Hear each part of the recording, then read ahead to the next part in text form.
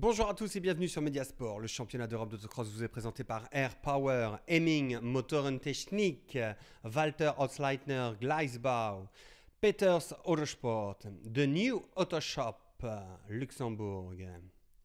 Fast and Speed, Made in Racing, le partenaire de la division Junior Buggy.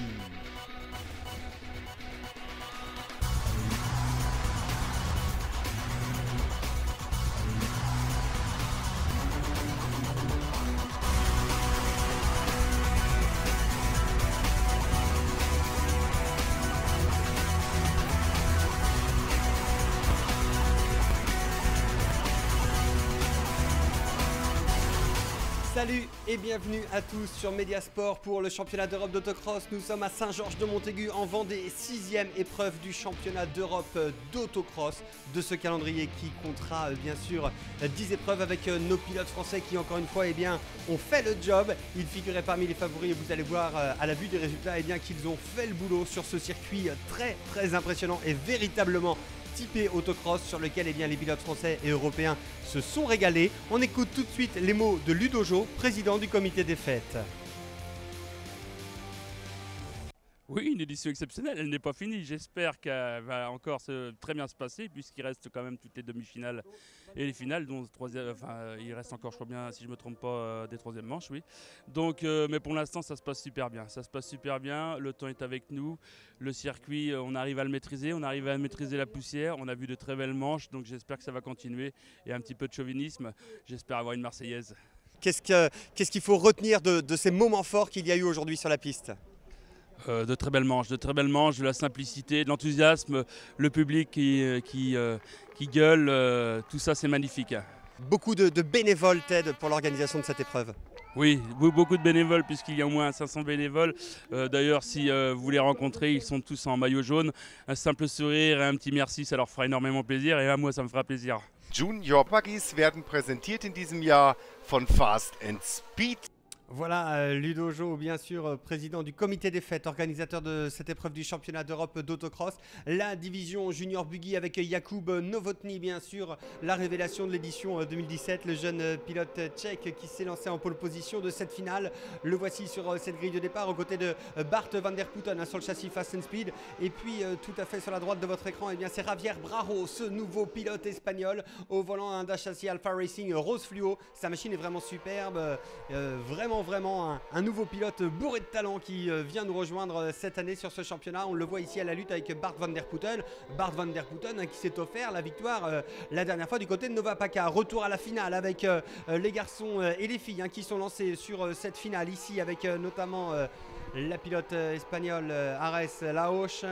Le voilà, Javier avec la monoplace rose à la lutte avec Bart van der Putten. La tête de la course, et eh bien c'est Jakub Novotny, bien sûr. Voilà, le point serré pour euh, le jeune pilote. Il était le Benjamin l'an passé. Ce n'est plus lui désormais, c'est euh, le jeune euh, Daniel Pitloun qui est le Benjamin dans cette division. C'est Timofey Ovcharov qui est en tête devant Juste Grenchis et Bart van der Putten. A noter que Juste Grenchis n'a pas pris part aux phases finales pour casse moteur. La division Touring Autocross avec ses voitures type Esprit WRC avec Václav Feifar bien sûr le pilote euh, tchèque originaire de Nova Paca qui s'est lancé en pole position. regardez le départ un petit peu chahuté encore une fois avec euh, Otakar Viborni sur la Mitsubishi Mirage. Et regardez, c'est Martin Samoil hein, qui va réussir à s'infiltrer à la deuxième place. Attention dans la remontée avec euh, Otakar Viborni ici à la lutte avec Martin Samoil. Les deux pilotes Skoda qui entourent désormais la Mitsubishi Mirage du pilote tchèque. Trois pilotes tchèques aux trois premières places alors qu'à la quatrième place, et eh bien ici vous découvrez Bart de Haas, le pilote hollandais sur euh, cette euh, magnifique euh, Skoda. Un nouveau pilote dans cette division là. On peut le saluer, ils sont trop rares. Voilà la victoire de Wojtaf Feifar qui remporte sa cinquième des six épreuves cette saison en tête du classement général provisoire devant Martin Samoil et Adrian Bulle. Otakar Viborni est quatrième et Grit Enersdorf, la seule féminine, est à la cinquième place. La division Buggy 1600 avec Steven Lobar, le vice-champion d'Europe en titre. Ici, Petre Nicodem, le champion d'Europe en titre avec son euh, numéro 101 pour le pilote de Prague en République tchèque. Et c'est le départ de la première demi-finale avec euh, Vincent Mercier, bien sûr, sur le Fast and Speed à la première ligne. Regardez avec le Fast and Speed orange et c'est lui qui vient en tête alors que derrière, eh bien, on le voit, Petre Nicodem est à la lutte avec un autre châssis Fast and Speed jaune. Ce châssis Fast and Speed jaune, eh bien, c'est celui euh, de René Mandel, le pilote allemand qui ici son retour à la compétition cette saison. Le public euh, français l'a retrouvé avec grand plaisir, mais l'homme de la situation, eh bien, c'est bien Vincent Mercier, euh, juste devant Petre Nicodem, alors que derrière, eh bien, la lutte fait notamment avec euh, Steven Lobar, juste devant René Mandel, Milan Vanier est là également avec le numéro 103. Attention, Kevin Peters, les Français avec Thomas Christol et Florian Guilini que j'aperçois. J'aperçois également Benoît Drouin et Nicolas Briand. Mais Vincent Mercier fait la course en tête et tient tient la pression qui est en train de lui mettre le champion d'Europe en titre, à savoir Petre Nicodem. Petre Nicodem qui n'a rien pu faire ce week-end pour aller chercher euh, le double champion de France en titre, à savoir euh, Vincent Mercier. Et regardez derrière, voilà, on l'aperçoit, Milan Vaniek euh, parti à la faute là, à la suite d'un contact avec Kevin Peters. Thomas Christol ensuite est là et Florian Guillini qui lui eh bien découvrait, hein, c'était son baptême pour le jeune pilote d'Avignon. Et la victoire euh, de Vincent Mercier devant euh, Petre Nicodem et Steven Laubar pour cette première demi-finale. Les supporters tchèques qui avaient fait le déplacement. La deuxième demi-finale avec Marcel Schrauer, la véritable révélation de ce championnat 2018 pour le pilote allemand, deuxième sur le circuit de Nova Paca. Marcus Wiebeler, celui que vous connaissiez déjà, qui participe au championnat d'Europe d'autocross pour la troisième euh, saison consécutive. Et puis Gilles Labrosse, il est là, le pilote français, l'Auvergnat, euh, qui fêtait son anniversaire euh, ce week-end du côté de Saint-Georges de Montaigu. Eh bien, euh, c'est l'homme du week-end, véritablement. Performance exceptionnelle pour, pour le pilote Auvergnat.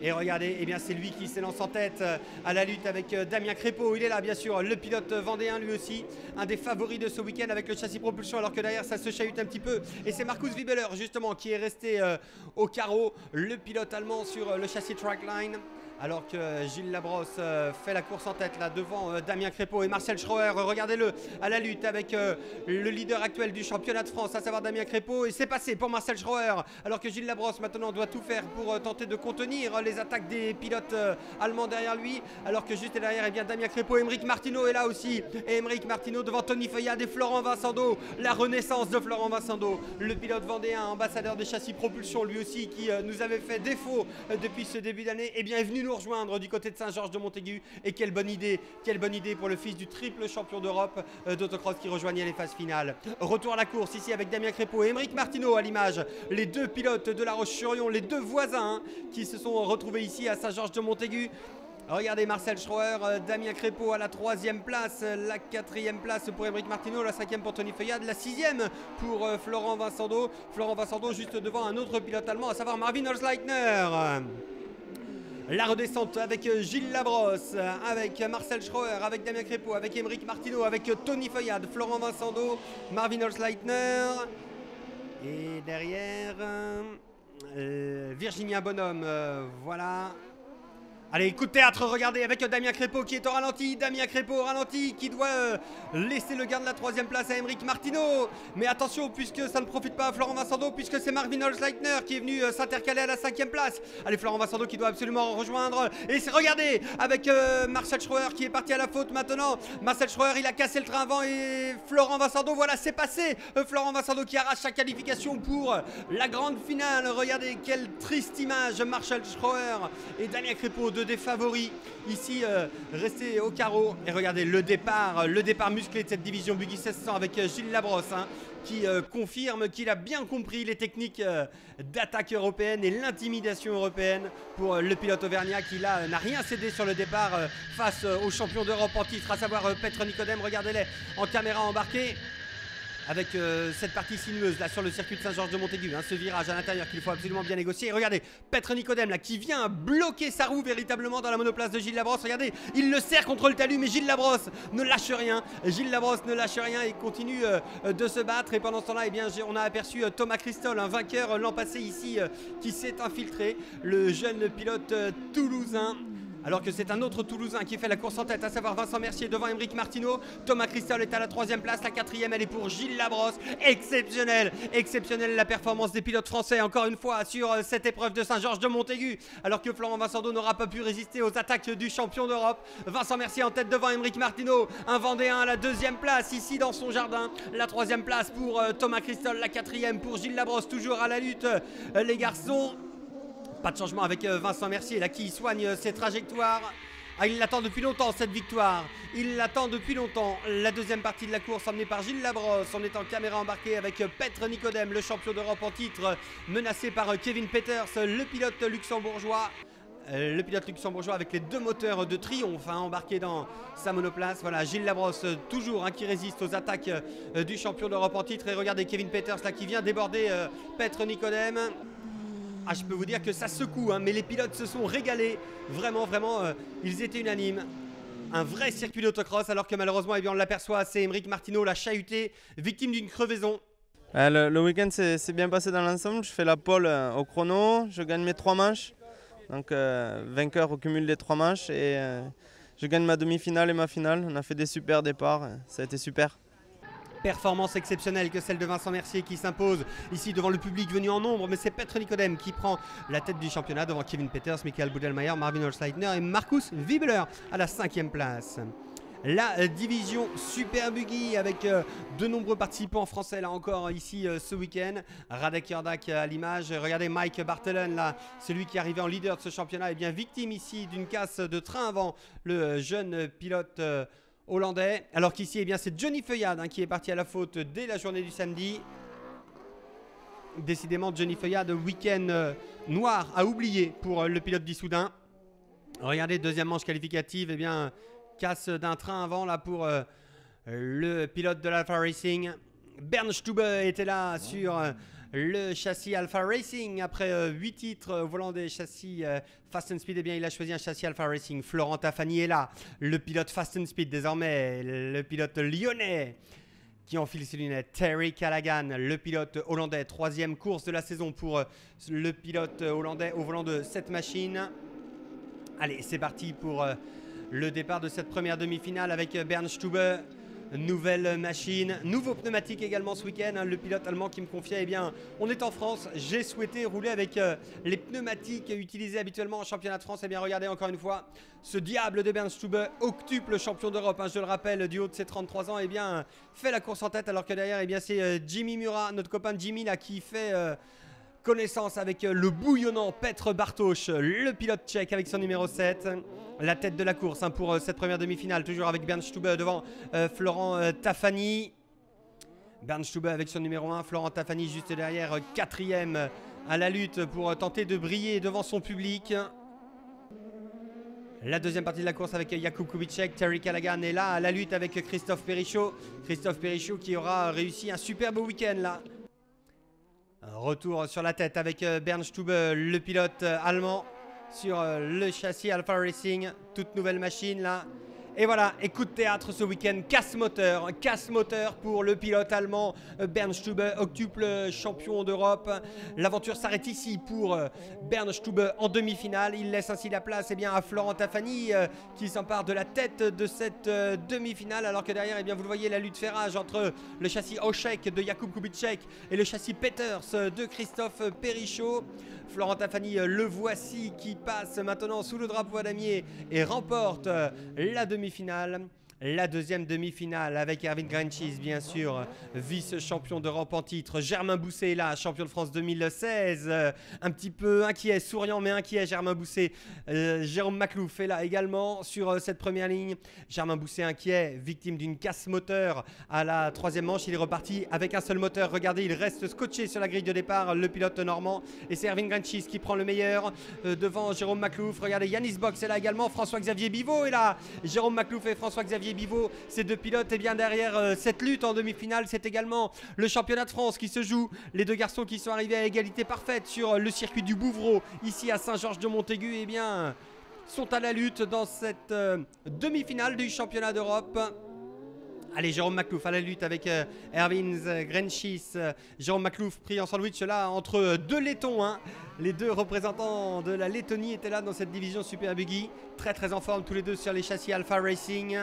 Dans la redescente, voilà, regardez, tout à fait en haut du circuit, pardon, avec euh, Erwin Grenchis et Yanis Box, bien sûr, euh, qui sont venus euh, déborder Jérôme Maclouf. Mais regardez le gros gros freinage de Jérôme Maclouf. Et il l'a repris. Il a repris le gain de la deuxième place. Jérôme Maclouf, attention, le petit contact ici avec Erwin Grenchis. Attention à ne pas commettre d'erreur, à ne pas casser un train ou bien une crevaison.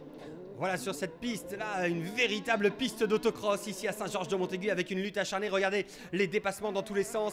L'autocross à l'état pur sur le circuit du Bouvreau en Vendée à Saint-Georges-de-Montaigu pour la sixième épreuve du championnat d'Europe euh, d'autocross. Yanis Box remporte sa demi-finale devant Erwin Grenchis, crevé dans le dernier tour, et Jérôme Maclouf à la troisième place. La grande finale, mesdames et messieurs, Cocorico avec euh, Florent Tafani qui s'élance sur euh, cette euh, première ligne aux côtés d'Erwin Grenchis et de Yanis Box. Attention, Florent Tafani dans les extérieurs et regardez la bombe Terry Callaghan qui a surgi de la deuxième ligne, il est là. Et celui qui vient en tête, eh bien, c'est Erwin Granchis, là, qui vient un petit peu euh, bloquer euh, Florent Tafani dans les extérieurs. Erwin Granchis, Terry Callaghan et euh, Florent Tafani, alors que derrière, eh bien, ça bouchonne. On a perdu Jonathan Bonhomme, on a perdu François-Xavier Bivot, me semble-t-il. Yanis Box également est resté, je crois, bloqué dans ce virage en haut du circuit. Regardez le monde, la foule sur le circuit de Saint-Georges-de-Montaigu. Les quelques 10 000 spectateurs présents ce week-end, eh bien, n'ont rien loupé du spectacle offert par les quelques 130 euh, pilotes européens qui étaient présents ce week-end. Petre Bartosz ici à la lutte avec Christophe Perrichot dans cette finale. On les voit encore ici, euh, les garçons, avec Petre Bartosz hein, qui fait parler l'expérience, là, le multiple champion d'Europe, hein, lui aussi, d'autocross dans la division Super Buggy. Et regardez, avec ici Erwin Grenchis hein, qui soigne ses trajectoires en tête euh, de la course, alors que Jérôme Maclouf là, vient d'en faire une petite euh, et doit laisser passer euh, Jakub Kubicek. Le double champion d'Europe dans la division junior Buggy est là et bien dans le coup avec euh, sa monoplace au numéro 6. Allez, attention, on nous signale un drapeau jaune là-bas. Erwin Grenchis, Terry Callaghan, euh, Florent Tafani, voilà pour l'instant pour euh, les euh, trois hommes de tête. Euh, ça n'a pas changé encore, mais attention, regardez, il est un petit peu au ralenti là, Erwin Grenchis. Il se fait doubler par Terry Callaghan. Florent Tafani peut-être par l'extérieur. Oh mon dieu Oh la flamme L'explosion pour Erwin Grenchis. Le moteur en feu là pour le pilote laiton. Le moteur Volvo en flamme sur... le circuit de Saint-Georges de Montaigu. Voilà, les commissaires tout de suite qui interviennent. Voilà, Yanis Box qui a réussi à l'éviter tout juste. Voilà, et bien, drapeau rouge. Un drapeau rouge est sorti et c'est euh, finalement la victoire d'Erwin Grenchis devant euh, Terry Callaghan et Florent Tafani. Petit moment de flottement puisqu'effectivement, eh bien, 75% de la course était faite. Donc on s'est arrêté au tour précédent et c'était bien Erwin Grenchis qui était en tête. Erwin Grenchis qui euh, nous livre ses impressions à l'issue de la remise des prix et bien qui nous dit effectivement euh, Terry Callaghan était euh, l'homme fort ce week-end. J'ai vraiment eu chaud en finale. Ce qui m'est arrivé, eh bien, c'est simplement une durée d'essence qui a cassé, euh, qui a arrosé le moteur et puis une étincelle a fini à, à ce que tout s'embrase. Je suis soulagé puisque le moteur n'est finalement pas cassé. Il a souffert. On aurait pu croire euh, que le moteur avait explosé, mais non, non, finalement c'est simplement l'essence euh, qui a été projetée dessus qui s'est embrasée immédiatement.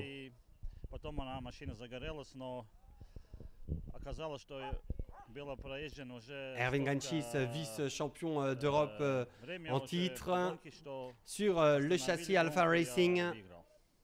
Voilà, mesdames et messieurs, Erving Ganchis en tête devant Jakub Kubicek, Mike Bartelen, Florent Tafani 5e, Johnny Fayad recule à la 6 place. Attention les garçons, la lutte pour le titre, ça va s'annoncer compliqué jusqu'à cette fin de saison. Voilà, mesdames et messieurs, et bien j'espère que vous avez pris autant de plaisir que nous pour euh, cette épreuve du championnat d'Europe d'autocross à Saint-Georges de Montaigu, sixième épreuve du calendrier 2018 sur euh, ce circuit du Bouvreau exceptionnel, un spectacle à couper le souffle. On vous donne bien sûr rendez-vous à Saint-Init-Vert le 14, 15 et 16 septembre pour l'avant l'avant-dernière épreuve du championnat d'Europe euh, d'autocross.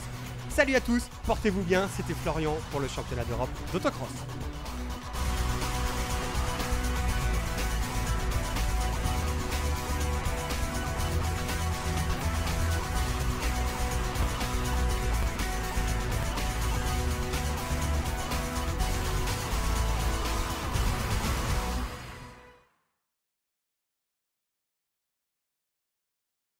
Air Power, Hemming, Motorentechnik, Walter Osleitner, Gleisbau, Peters Autosport, The New Auto Shop, Luxembourg. Fast and Speed, Made in Racing, le partenaire de la division Junior Buggy.